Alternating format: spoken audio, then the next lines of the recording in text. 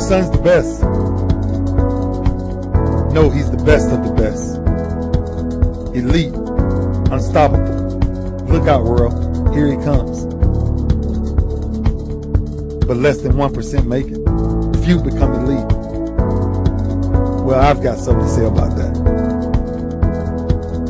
They say all these athletes could never get an academic scholarship. Well, my friend, Kaplan has something to say about that.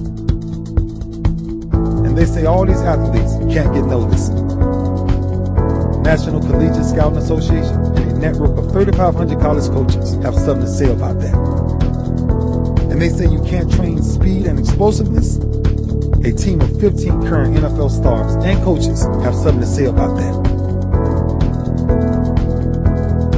Four nights, five days, elite football training camp by day.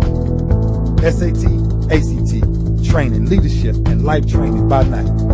All supervised by actual professional franchise team physicians. Journey begins at Georgia Tech, June 7th through the 11th. I'm Ray Lewis, 360 Football Academy. That's my legacy. 360footballacademy.com.